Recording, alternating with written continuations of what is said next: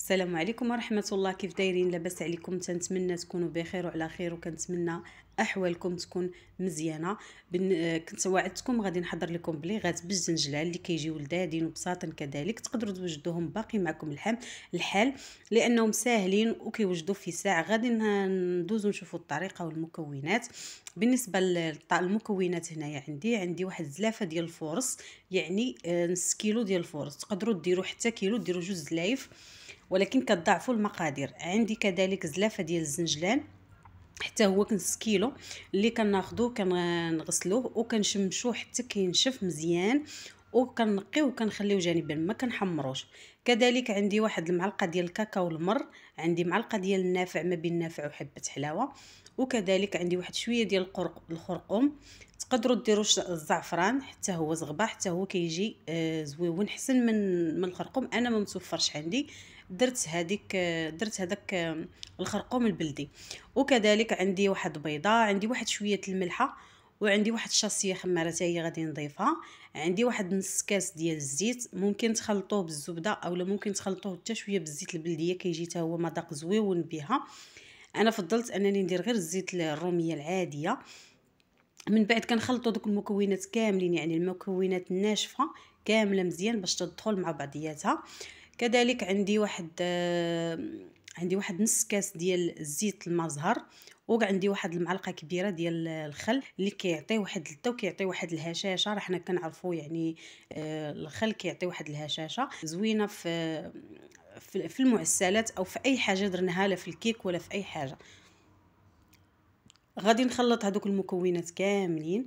بالنسبة لهنا التخلاط غادي نخلط غير بشوية غنضيف الماء تدريجيا يعني غير بشوية بشوية ما نزعمش باش حيت خاصها تبقى قاصحة شوية شادة في راسها ما تكونش خفيفة. في حاله ما أنها جاتكم يعني خفيفة أولا جريتوها زيدوها واحد شوية ديال الدقيق. صافي وكتجيكم مزيانة تبقاو تزيدوا حتى تحصلوا على واحد العجين اللي تكون ماسكة وفي نفس الوقت رطبة.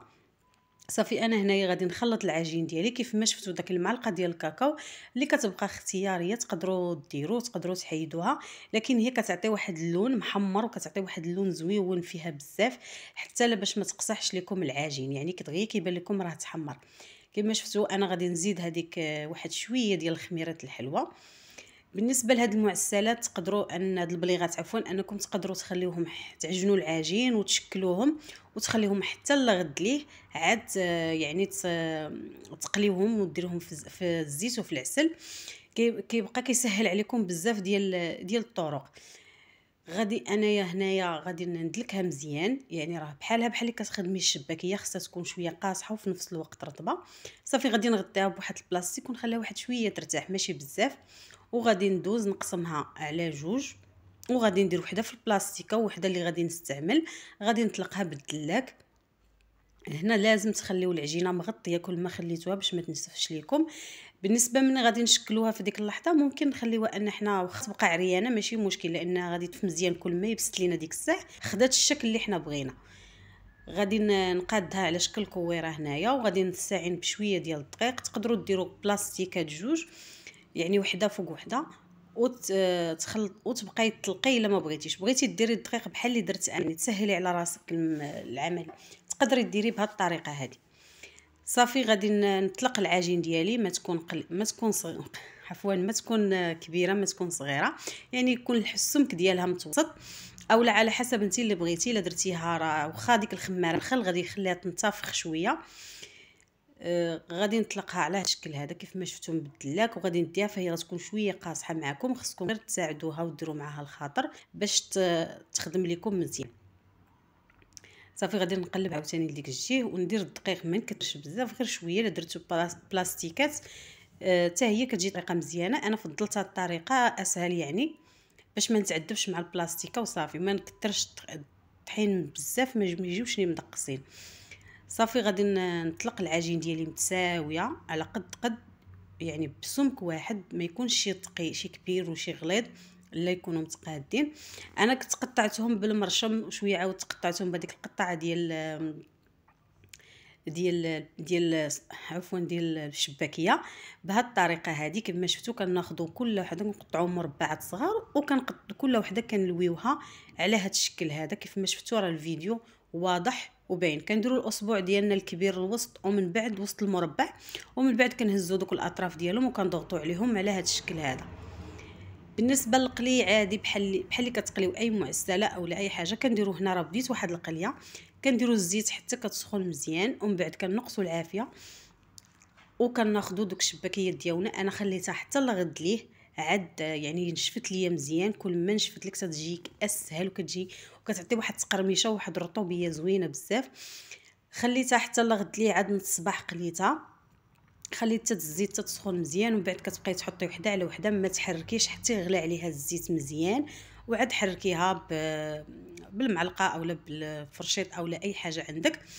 صافي بحال هكايا. غادي نحرك أنا ديال الطريقة اللي كتعجبني باش ما كي كنحرك غير المقله واحد شوية. صافي ونخليهم يتحمروا ليا مزيان مع داك الكاكاو كيعطيو واحد اللون آه، كحل زوين مورز كيعطي واحد اللون زويون بزاف. صافي غنبقى نديهم هكا شوية غادي نصفيهم مزيان من الزيت. ديما كنقول لكم العسل ما نخليوش يتقاس آه، بالزيت. كنضيفوهم على العسل اللي كيكون ثقيل من بعد ما كتحطوا عليهم آه، يعني كتحطوا عليه المعسله راه. آه، العسل كيولي خفيف بزاف. كيف ما شفتوا هنا مع درت القلية الأولى كانت سخونة رخات ليا داك العسل. كنخليها واحد شوية حتى يشرب داك العسل مزيان. وعاد كنبدا نخلط نبقى نهز من الفوق لتحت ما تخافوش مع منهم. راهم ما كيتكسروش يعني ما كيتهرسوش بالعكس يكونوا شادين راسهم وكيجيو لذادين بزاف وكيجي فيهم داك الجنجلان صراحة كيجي كي هكا مذاق ديالو. كنتمنى ان وصفه اليوم تكون نالت الإعجاب ديالكم. وهادو هما البليغات ديالنا. كيجيو محمرين مع داك الكاكاو اللي درنا كيجي لذيذ. وزوقتهم واحد شوية بهاد اللوز ديال اللوز مقلي.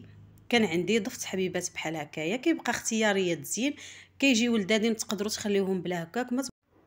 وكيجيو لذاذين ونزوقوهم باش ما بغينا. آه كذلك احسن نخليهم بحال هكا كيجي واحد المذاق وواحد اللذه فيهم اللي كتجي روعة. كنتمنى أن هذا الفيديو نال الإعجاب ديالكم. إلى اللقاء. إلى فيديو قادم